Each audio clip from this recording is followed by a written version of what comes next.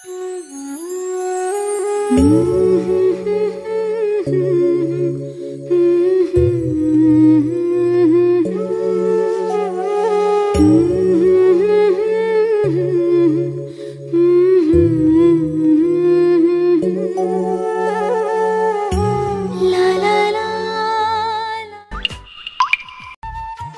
আমার দিকে এভাবে তাকিয়ে আছো কেন?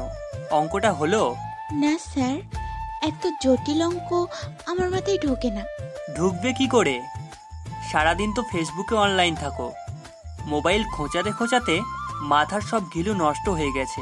ওকে ওকে করছি। হুম তাড়াতাড়ি করো। কি হলো? আবার আমার মুখের দিকে তাকিয়ে আছো কেন?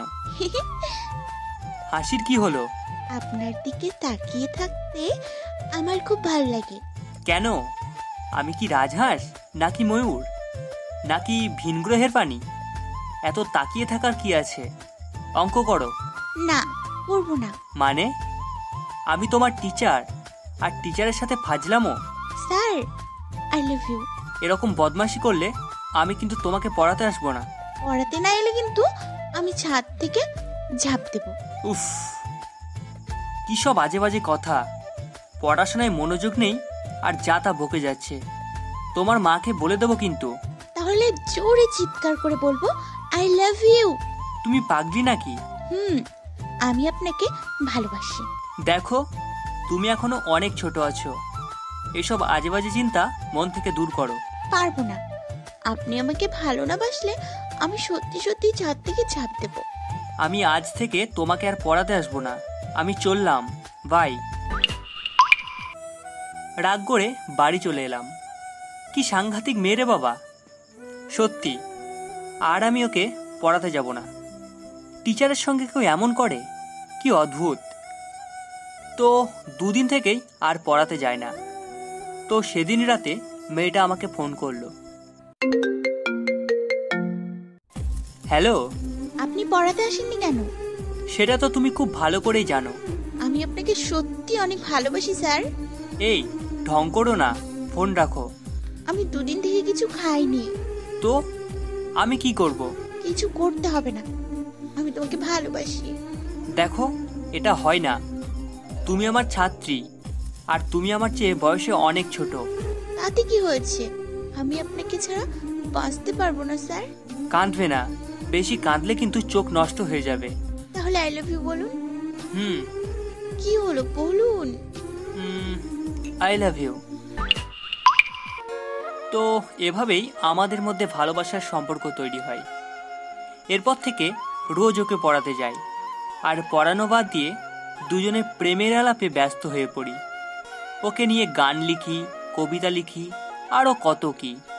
ওর চোখের মণি দুটো নীল রঙের, তাই আমি ওকে আদর করে নীলপরি বলে ডাকতাম। তো এভাবে আমাদের দিনগুলো ভালোই কাটছিল। এরপর হঠাৎ একদিন ওর মা বাবা আমাদের সম্পর্কটার বিষয়ে সব কিছু জেনে গেল।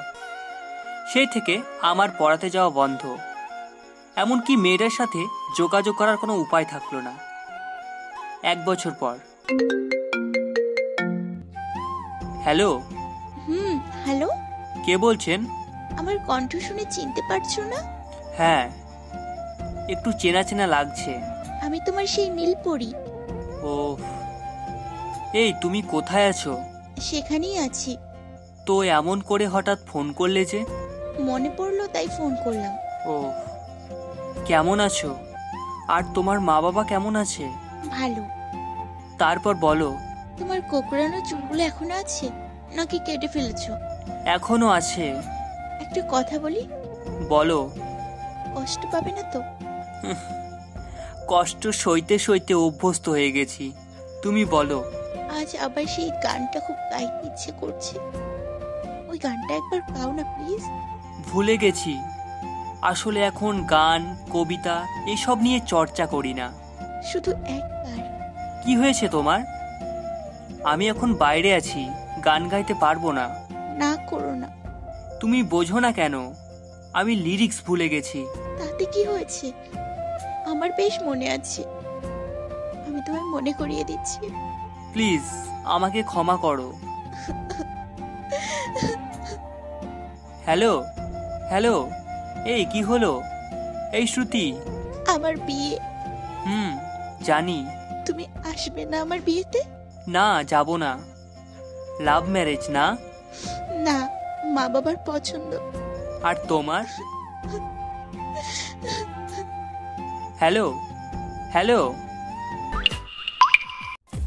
বুকে চাপা কষ্ট। কিন্তু কি করব? আমি যে নিরুপায়, আমি চাইলেই শ্রুতিকে আমার কাছে নিয়ে আসতে পারি। কিন্তু সেটা করলে ওর মা বাবার সাথে বিশ্বাসঘাতকতা করা হবে। আর আমি সেটা করতে পারব না। আমাকে ক্ষমা করে দিও Shruti. I love you Shruti. I really love you. এভাবে সৃষ্টি হয় লক্ষ লক্ষ অসম্পূর্ণ ভালোবাসার গল্প। বিবেকের কাছে হেরে যায় পবিত্র ভালোবাসা। হারাতে হয় সেই মানুষটিকে, যে মানুষটা হয়তো আপনার কাছে সবচেয়ে দামি। তাই এরকম ভালোবাসার সম্পর্কে জড়ানোর আগে ভবিষ্যৎটা নিয়ে বারবার ভাবুন। হট করে এমন সিদ্ধান্ত নেবেন না, যার জন্য আপনাকে সারা জীবন আফসোস করতে হয়। এমন কিছু বিষয় আছে যেগুলো আবেগ দিয়ে নয়, বিবেক দিয়ে বিচার করতে হয়। তো সবাই ভালো থাকবেন। ধন্যবাদ সকলকে। ভিডিওটি দেখার জন্য অসংখ্য ধন্যবাদ। ভিডিওটি ভালো লাগলে লাইক এবং কমেন্ট করুন। আর নিয়মিত ভালোবাসার গল্প পেতে অবশ্যই সৌভিক এডিটিং চ্যানেলটি সাবস্ক্রাইব করে পাশে থাকা বেল আইকনটি বাজিয়ে দিন। ধন্যবাদ সবাইকে।